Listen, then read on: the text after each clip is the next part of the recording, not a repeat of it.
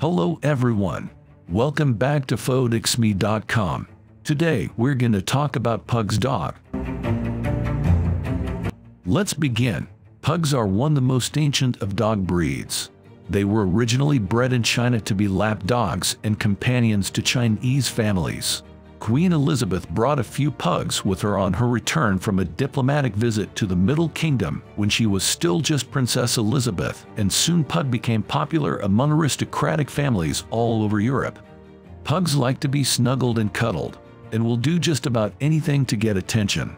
They're perfect lap dogs for when you just want a quiet evening spent in front of the TV or simply reading a book.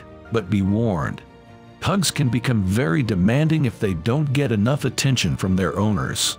They are known to follow their owners from room to room, literally getting underfoot, until the owner relents and gives them some petting and affection. Pugs are easily trained because they love to please their masters. Pugs like routine and prefer things to be done the same way every day. You can train them using a clicker, which is a small device that makes a clicking sound when you feed your dog or pat him. If you need to know more about Pug's dog, click the link below in the description.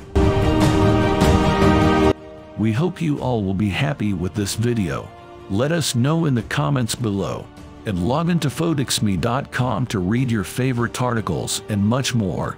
Please press the subscribe button and the bell icon right next to it. And don't forget to connect with us on all our social media. Thank you for watching us. Let's meet again with another interesting video. Until then bye bye.